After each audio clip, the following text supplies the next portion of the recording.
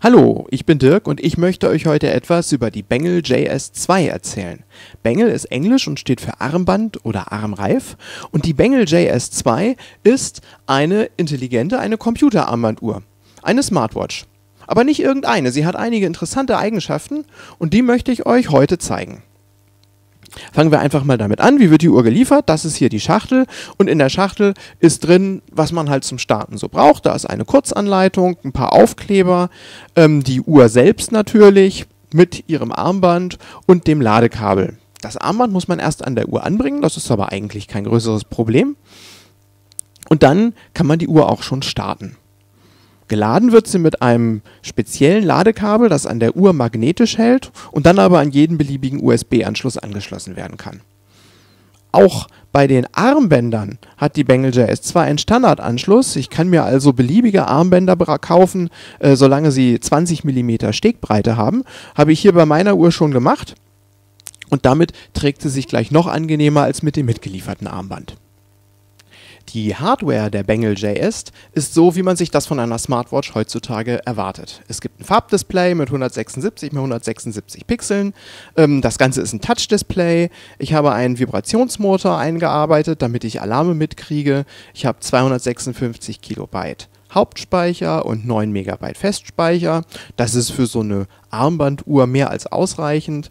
Ähm, und dann habe ich Sensoren. Einmal das GPS, ein GPS-Empfänger und dann hm, Sensoren für Beschleunigung, für Luftdruck und äh, für den Herzschlag. Und ich habe auch noch ein Magnetmesser eingebaut, das heißt, ich habe eine Kompassfunktion in der Uhr. Und dann gibt es zwei Sachen, die sind äh, besonders spannend. Zum einen eben das Display.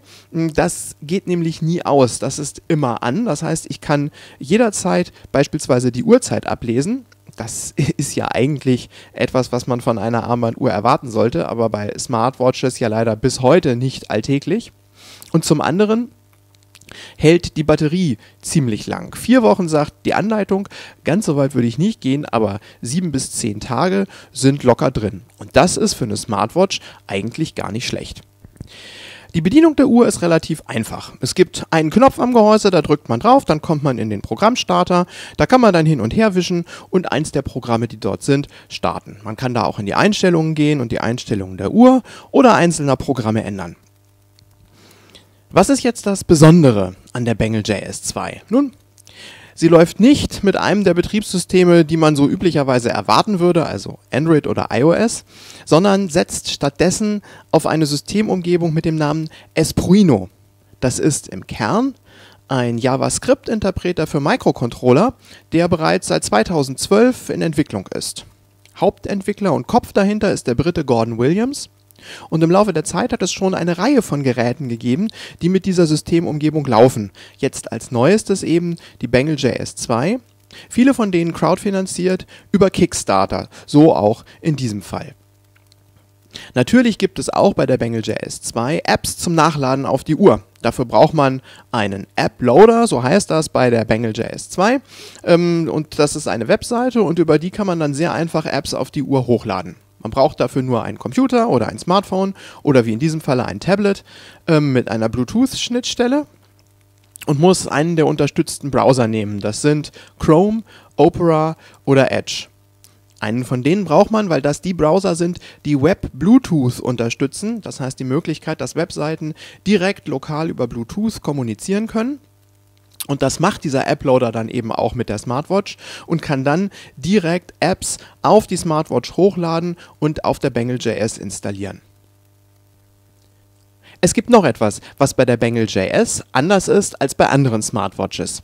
Sie ist, wie das gesamte Espruino-Ökosystem, Open Source. Das heißt, alle Softwarebestandteile liegen im Quelltext vor und man kann sich jederzeit angucken, wie die Programme funktionieren. Im App-Loader gibt es dafür sogar bei jeder App einen eigenen Knopf und wenn man auf den draufdrückt, kommt man direkt zum Quelltext der entsprechenden App.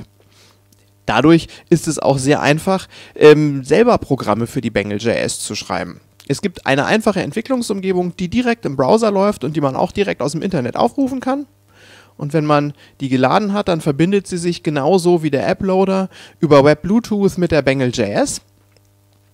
Und dann kann man in dem Quelltext-Editor einfach anfangen loszuprogrammieren, kann die Software dann in die Bengal.js übertragen und dort sofort laufen lassen. Und dann sieht man halt sofort, wie das Programm läuft. Und es gibt sogar die Möglichkeit, wenn man auf die Hardware-Uhr gerade nicht zugreifen will, das Ganze im Emulator direkt in der Entwicklungsumgebung auszuführen. Auf die Kickstarter-Kampagne für die Bengal JS2 bin ich im Herbst 2021 aufmerksam geworden. Dann hatte ich mich daran beteiligt und habe dann im Dezember 2021 auch meine Uhr gekriegt und seitdem benutze ich sie auch als Armbanduhr, ganz normal, tagsüber und bin sehr zufrieden damit. Ähm, also man merkt, dass da vieles noch sehr jung ist, dass das ganze Projekt gerade erst so richtig anfängt, dass viele Programme noch relativ einfach sind, dass auch die Integration mit dem Android- oder iOS-System sicherlich noch hm, einiges an Potenzial hat. Aber das ist eben genau der Punkt. Es ist einfach sehr viel Potenzial da ähm, wenn man momentan Englisch schon gut kann, weil einfach sehr viele Sachen ähm, momentan rein in Englisch verfügbar sind ähm, und sich da so ein bisschen reinarbeiten will, also so wenn man da so nerdmäßig drauf ist, dann ist dieses Ding momentan einfach eine einzige riesengroße Spielwiese.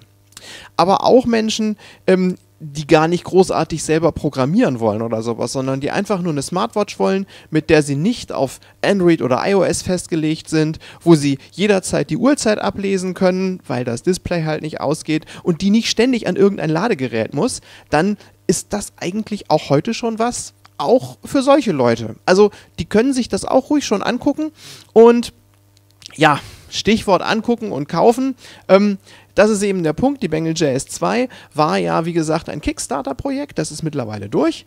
Ähm, und jetzt muss halt weitere Hardware ähm, produziert werden. Das ist momentan der Fall und der Webshop sagt auch, dass also im ersten Quartal 2022 neue Uhren verfügbar sein sollen und dann wird man sie ganz normal über den Esproino Webshop kaufen können und man kann sich wohl heute schon in eine Liste eintragen, dass man informiert wird, wenn es soweit ist. Und das kann ich also nur empfehlen, wenn ihr jetzt denkt, das ist eine spannende Uhr, dann macht das einfach und ähm, ja, guckt, dass ihr auch an so eine Bengal JS2 kommt. Damit wären wir am Ende meines ersten Videos über die Bengal JS2. Ähm, es dürfte auch wohl eins der ersten Videos überhaupt über diese Uhr auf Deutsch gewesen sein und deswegen interessiert mich natürlich besonders, was sagt ihr? Klingt das nach einem interessanten Produkt? Wollt ihr mehr wissen? Hm, schreibt mir gerne Fragen oder Kritik in die Kommentare, freut mich immer. Ansonsten danke fürs Zuschauen.